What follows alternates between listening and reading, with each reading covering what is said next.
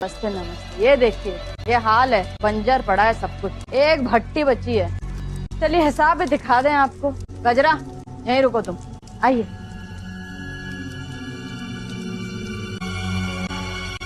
ये लीजिए। ये है सारा हिसाब किताब। बैठिए बैठिए आप, बैठिए। ये सारा हिसाब किताब है। जब वो देख लें, जाँच पड़ताल हो जाए, तब यहाँ नज़र डालिएगा जरा।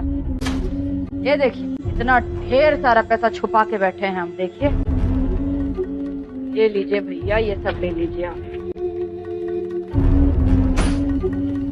ये है हमारी फटी गोदड़ी, जो आपको दिखाना नहीं चाहते थे। शर्म आ रही थी कि धंधे का ये हाल। सब कुछ देख चुकी हैं आप बस इतना करिएगा कि गाँव वालों को ना पता चले, वरना कल कोई भी मिट्टी का माधव उठेगा और हमसे नज़रें मिलाने लगेगा। देख लिया। सब देख लिया दुल्हन। और जो हम देख रहे हैं ना, तुम नहीं देख पा रहे। अरे ये पैसे वैसे नहीं चाहिए हमको। पैसे की कमी थोड़ी है हमारे पास। जितना चाहिए उतना है। अरे अरे आए पैसा आए पैसा करके क्या करेंगे? अरे छाती पे लाद के थोड़ी ले जाएँगे।